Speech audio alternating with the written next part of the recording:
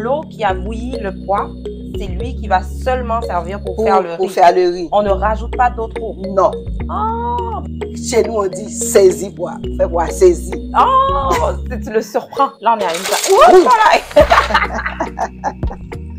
Ça, c'est pour le bêtisier, là. Salut, bienvenue dans cette vidéo. Aujourd'hui, on va vous montrer Comment nous préparons le riz collé à pois ou bien le riz et pois national. Le riz et pois collé peut se faire avec du pois vert, peut se faire avec du pois sec, mais c'est quand il est fait avec du pois rouge sec qu'on l'appelle riz et pois national. Il faut à peu près un tiers de la quantité de, de, pois pour deux tiers de la quantité de riz. On va essayer de rester dans la règle le plus que possible, mais c'est à peu près un tiers de, de pois pour deux tiers de riz parce que les gens ils n'ont pas de tasse-mesure. Mais aujourd'hui, là, vous allez voir, nous avons notre pois. Ici, Là, on est à une. Ouh, voilà. Ça, c'est pour le bêtisier, là. Oh my God. Et, hum, donc, on va mettre les pois à bouillir. Maintenant, quand il y a une, il y a un petit, une petite astuce. Quand on fait bouillir les pois, il faut mettre euh, à peu près la moitié de la quantité d'eau qu'on est supposé mettre pour la cuisson du pois pour faire un premier bouillon. Et quand les pois, on fait le premier bouillon, on verse de l'eau froide. Parce que quand les fois on fait le premier bouillon, toutes les graines de pois vont, et, et se, vont remonter à la surface de l'eau. Et puis à ce moment-là, on verse de l'eau froide à trois reprises dedans ou bien à deux reprises. Mais il n'y a pas de, c'est pas une recette magique. Mais c'est juste pour, et solide, pour faire en sorte que et les pois et rendent, remettre toute, euh, euh, toute la quantité de couleur rouge qui va colorer l'eau pour que votre riz ait une belle couleur après sa cuisson. Assurément, vous, vous avez peut-être regardé des riz pois collés qui n'étaient pas vraiment colorés. Mm. Il semblerait que c'est cette petite astuce qui puisse donner plus de couleur à votre riz. Chez nous, on dit saisi pois. On fait pois saisi. Oh, tu le surprends. Oui, donc tu le tu surpoids le pois. Donc comme ça, il rend tout et, et la couleur rouge. Pour la quantité d'eau, donc on met ça d'eau euh, de- dedans. Oui, mais c'est pas cette quantité d'eau qui va cuire et les pois. Et ce qu'il faut surtout se rappeler aussi, il faut mettre les pois à bouillir avec une certaine quantité d'eau qui peuvent cuire le riz sans que vous ayez à ajouter de l'eau ordinaire à votre cuisson. Oh, Là. attends, attends, attends, attends. C'est intéressant parce que moi, j'ai une question. Donc, l'eau qui a bouilli le pois, c'est lui qui va seulement servir pour, Pour, faire le pour riz. faire le riz. On ne rajoute pas d'autre eau. Non.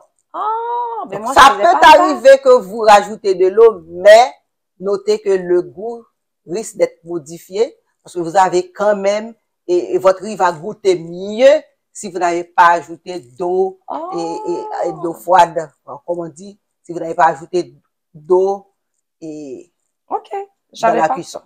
Je savais pas. Moi, je le faisais pas comme ça. Il faut environ 1 heure, 1 heure 30 pour que les haricots soient bien cuits, pas trop durs et pas trop mous.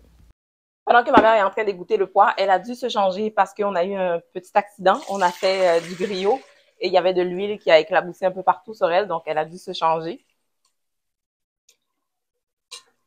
Ça doit pas être chic chic comme image, là.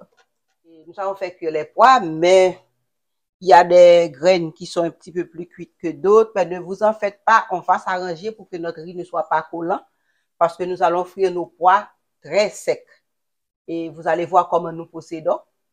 Mais même moi aussi, je le poire parce que le riz de ma mère n'est pas le même que le mien. J'arrive jamais à le faire sec comme elle. C'est la première fois que je suis vraiment là pour regarder comment qu'elle fait. Donc, on va apprendre ça ensemble et qu'on va passer sur le feu. Et là, une fois que ton pois est cuit, ce qu'on va faire, c'est qu'on va faire frire les haricots. Donc, ma mère, elle, préfère frire les haricots vraiment très, très secs, mais ça, c'est vraiment son choix. Tu n'es pas obligé de les faire frire euh, secs comme elle. Donc, on met le pois, on met de l'huile et on le laisse euh, frire.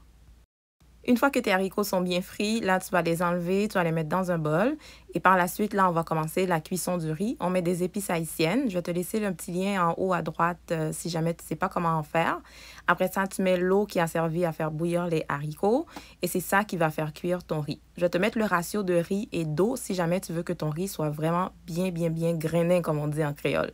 Moi, j'utilise du riz brun et le riz brun contient un peu plus d'arsenic que le riz blanc. Donc, c'est pour cette raison que je lave mon riz. Je vais mettre euh, ici euh, le lien de l'article pour toi si jamais tu veux aller regarder ça et que le sujet t'intéresse.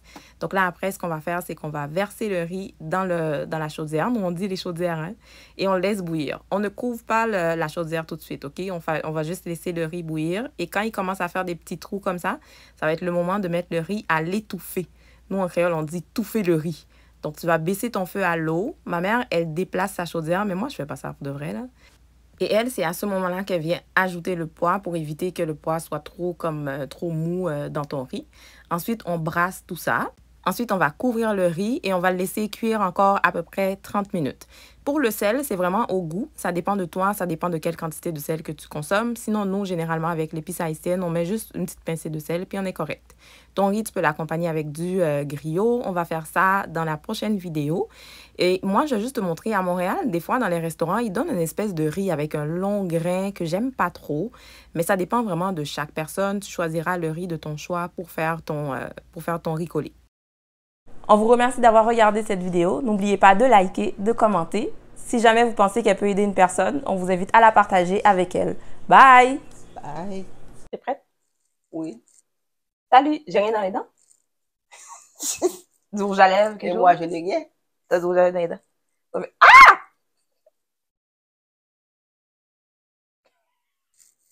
En plus, ça roule, hein? Ça va? Oh, attends. Oui, t'es correct.